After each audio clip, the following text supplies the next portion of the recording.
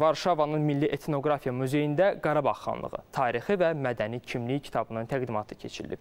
Gecədə Azərbaycanın mədəni irsinin inciləri sərlövhəli sərgidə təşkil edilib. Sərgidə diplomatlar, hökumət rəsmilər, ziyalılar, media nümayəndələri və diaspor fəalları iştirak ediblər. Səfir Nərgiz Qurbanova kitabda Qarabağın parlaq irsinə məxsus 300-dən çox artefaktın təsvir olunduğunu, nəşrin Şuşa şəhərinin 270 illik yubileyinə təsadüf etdiyini bildirib. Milli Etnografiya Muzeyinin Muzeyinin direktoru Magdalena Vrablevskaya Azərbaycanla mədəni əməkdaşlıqdan məmnun olduğunu və təqdim olunan material və artefaktların Qarabağ regionunun tarixi, mədəniyyəti, məişəti, inancı haqqında həqiqi məlumatları əks etdirdiyini bildirib.